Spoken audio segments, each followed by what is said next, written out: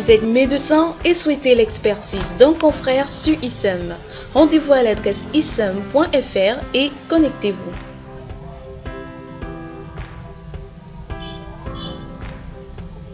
En premier, faites un clic sur la troisième rubrique Mes patients.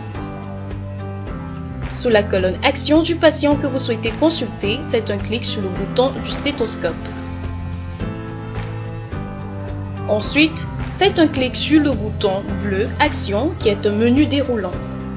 Puis faites à nouveau un clic sur le deuxième élément de la liste. Inscrivez le nom du médecin dont vous sollicitez l'expertise. Saisissez l'objet de la demande, le résumé de la consultation.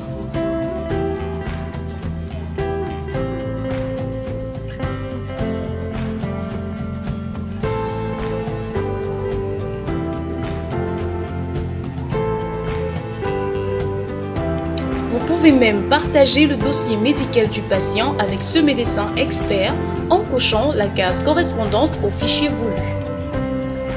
Dernière étape, rassurez-vous d'avoir le consentement du patient et d'un de ses proches et cochez les cases indiquées.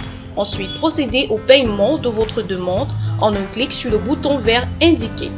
Vous serez conduit vers la page qui vous offre plusieurs modes de paiement. Une fois le paiement effectué, votre requête a été transmise à votre confrère et vous recevrez sa réponse dans les plus brefs délais.